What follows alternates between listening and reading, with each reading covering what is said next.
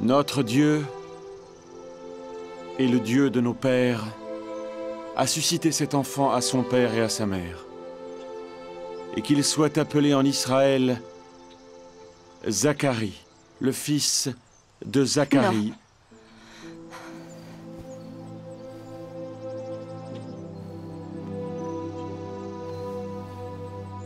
Non, il... Sera appelé Jean.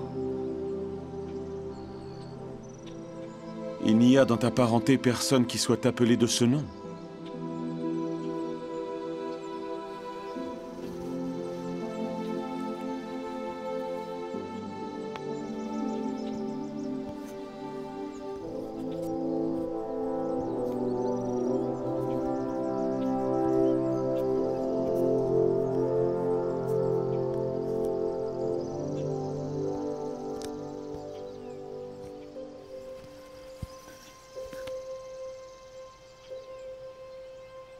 Son nom est Jean.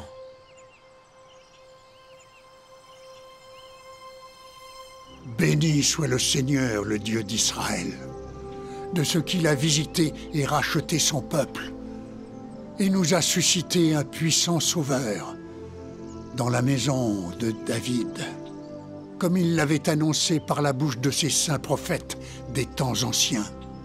Un sauveur qui nous délivre de nos ennemis et de la main de tous ceux qui nous haïssent.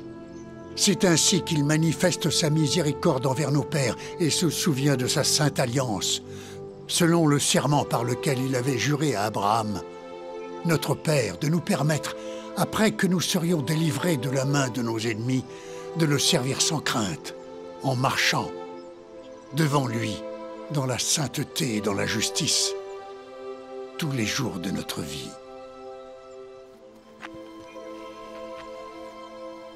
Et toi, petit enfant, tu seras appelé prophète du Très-Haut, car tu marcheras devant la face du Seigneur pour préparer ses voies, afin de donner à son peuple la connaissance du salut, par le pardon de ses péchés grâce aux entrailles de la miséricorde de notre Dieu, en vertu de laquelle le soleil levant nous a visités d'en haut, pour éclairer ceux qui sont assis dans les ténèbres et dans l'ombre de la mort, pour diriger nos pas dans le chemin de la paix.